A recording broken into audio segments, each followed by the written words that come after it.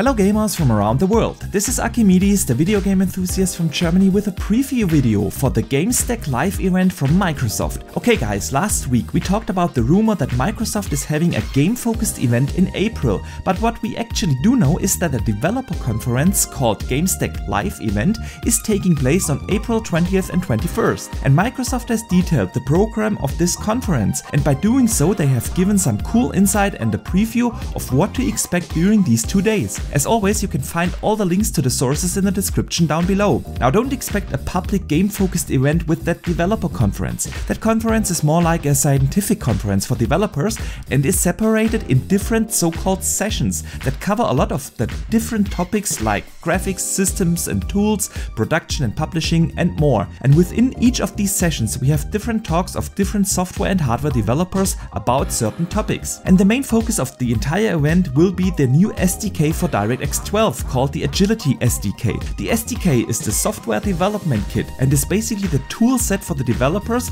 that want to develop the next gen games for either Windows 10 or of course the Xbox Series S and Series X consoles. And with this new developer kit, which is supposed to roll out around the time of the conference, meaning April 20th and 21st, developers can now better optimize the new consoles without impacting their development process for games of other systems like the older consoles. So the conference will detail a lot of the technology that is then available for developers and in this video we are going to go through the most important tools of this conference. But before we go through all of that, I want to ask you for a favor. If you watch this video and end up enjoying yourself, then please consider to hit the like and subscribe button and maybe even turn on the notification bell to not miss out on future content. This doesn't cost you anything but it helps my channel more than you think and I would really appreciate your support. But now let's talk about the GameStack live event. The entire event will be kicked off by a keynote speech from head of Xbox Phil Spencer, who will more generally talk about the next generation of gaming and the next gen graphics. This will be a more general talk about where the industry is heading and what the potential of next gen graphics and game development will be like.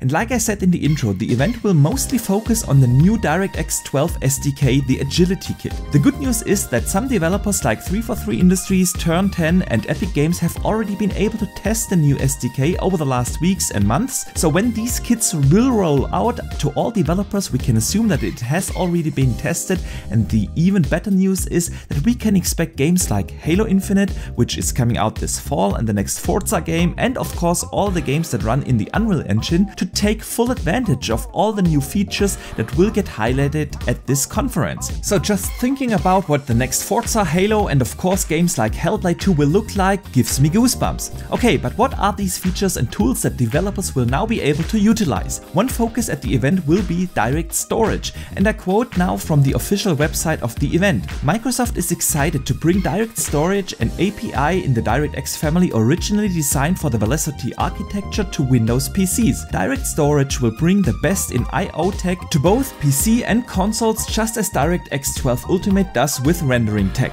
So basically Microsoft is bringing the Velocity architecture that they have advertised a lot for the Xbox Series consoles to PC.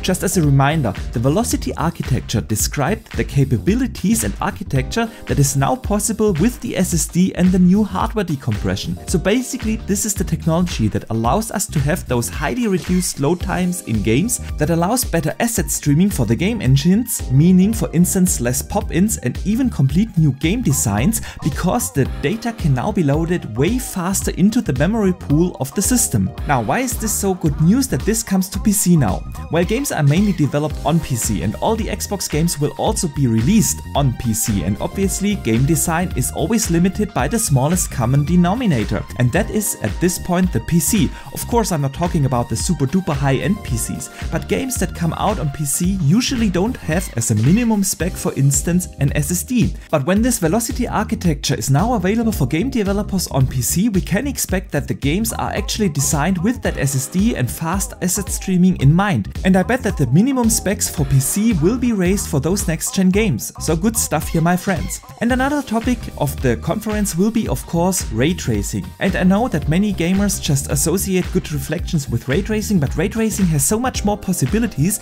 and if you want to learn more about what ray tracing actually is, I highly recommend my dedicated video on this. Now during the conference we will get different talks about ray tracing and the first is coming directly from Nvidia. They will talk about the implementations of ray tracing in Minecraft as an example on how to implement ray tracing in games. This talk will be specifically for developers that are new to the topic of ray tracing and it will be an introduction on how it works and what developers need to consider when they want to use ray tracing. And that's really interesting because with this, smaller and even bigger developers that are new to the technology now get to learn more about it and that means that we will probably see this technology implemented in even more games over the course of the next years. Another talk about ray tracing is coming directly from AMD, specifically about denoising.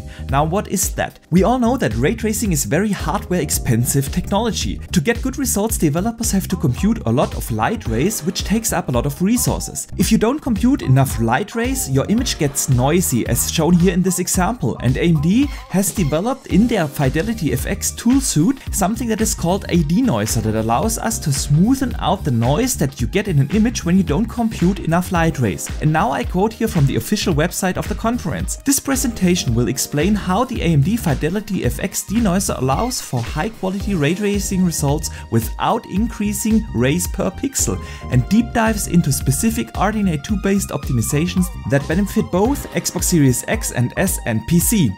As you can see, this talk is then specifically targeting for the RDNA 2 hardware based optimizations that will allow developers to use ray tracing with less hardware demands. And I specifically am looking forward to see if developers will be able to use ray tracing in games in two or three years when they really get an idea of how the technology works without compromising on frame rates. Because that's what we all want. We want that high quality visuals at high frame rates. Okay, but speaking of high quality visuals, another topic at the conference will be new shader models called HLSL Shader Model 6.6. This will specifically target for developers to use the new mesh shaders in our Xbox Series consoles and of course PC and allow them to increase their flexibility on how they want to use their existing rendering approaches and adding all new ones to their suit. Okay, but another thing outside of graphics that will be discussed is the Havok's physics engine, which powers the physics calculations in many, and I mean many, games. We all know that one of the big leaps in between the last generation and the current generation of consoles are the new CPUs, but all that people seem to talk about is either frame rates or some graphic features. But what the new CPUs also allow us to do is to compute physics and AI way better and so I am particularly excited to learn how developers can use those new CPUs to give us better simulations of physics and the worlds in our games. And at the conference there will be a talk about this Havok physics engine and how they can use the updated physics engine without sacrificing frame rates. I quote again from the official preview. Here we will talk through some heuristics needed to achieve more stable physics simulations without sacrificing performance or adding additional state to the simulation. So good stuff here and I can't wait to see games that actually leverage that technology. Well, there are a ton of things that will be discussed at this developer conference, but I can't go into all the specifics in this video to not blow it up. Just to give you an idea, there will be talks about PlayFab, which helps manage analytics and scaling for multiplayer games. And of course there will be a lot of talk about Xbox services and Azure, allowing devs to run their games in the cloud, which will be interesting to see how developers can now optimize their games to not just run well on our consoles or PC, but also in xCloud. Of course there will also be a lot of talks about how to improve the quality of multiplayer games, how developers will be able to use ray tracing and other technologies to improve the audio quality in games, or how to make games more inclusive and accessible. One last thing I want to mention is that there will also be a session about production and publishing and especially one talk will focus on Game Pass and what the chances of this subscription service means for game development. And since the core audience of this talk will be developers and publishers, it is always a good chance to brag about some numbers and so maybe we will hear about some new metrics on how Game Pass is performing.